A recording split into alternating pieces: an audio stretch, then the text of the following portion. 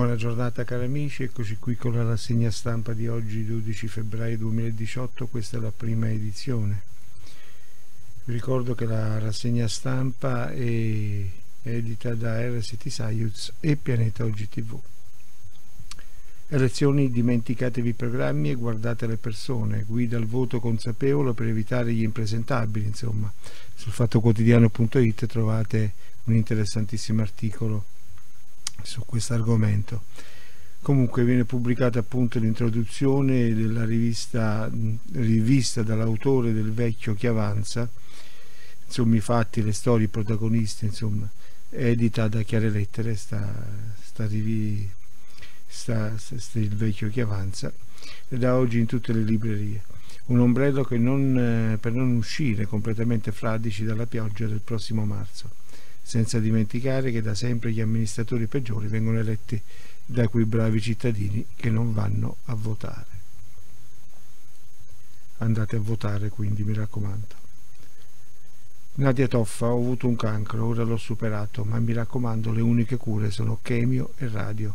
Il racconto carico di emozioni della conduttrice al suo ritorno alle Iene sono stati due mesi difficili, dice. Il malore avvenuto a dicembre mi ha permesso di fare un check-up e accorgermi del tumore. E parla a nome dei malati dicendo trattateci con normalità, prendeteci in giro come tutti. Cina, eh, troppi terreni agricoli contaminati, entro il 2020 bonifichiamo il 90%, ma costa 200 miliardi di dollari.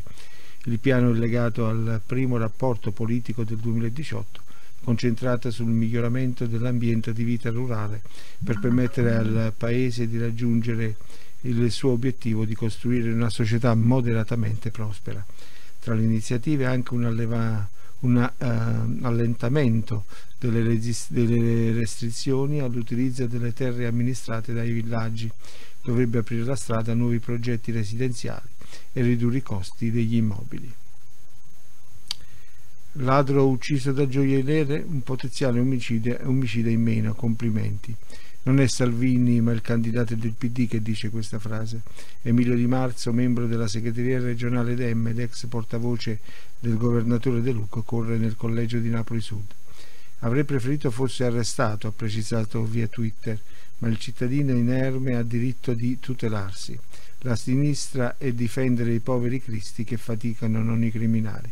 Arturo Scotto di Leu dice quando vi dicevo che il PD parla come la destra stavo sottovalutando ed è vero elezioni Berlusconi dice mai accordi con PD anche se non è più comunista non sono come Renzi se dico una cosa la faccio il leader di Forza Italia alla trasmissione in mezz'ora suggerisce al segretario del PD di cambiare il nome del partito deve chiamarlo socialdemocratico propone Carlo Cottarelli come ministro, dice sarà uno dei 12 tecnici, si occuperà di spending review.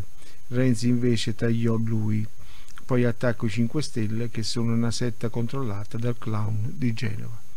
Con questo è tutto cari amici, vi diamo appuntamento alla prossima rassegna stampa, vi ricordo che la rassegna stampa è edita da RST Science e Pianeta OGTV. Buon proseguimento con la programmazione.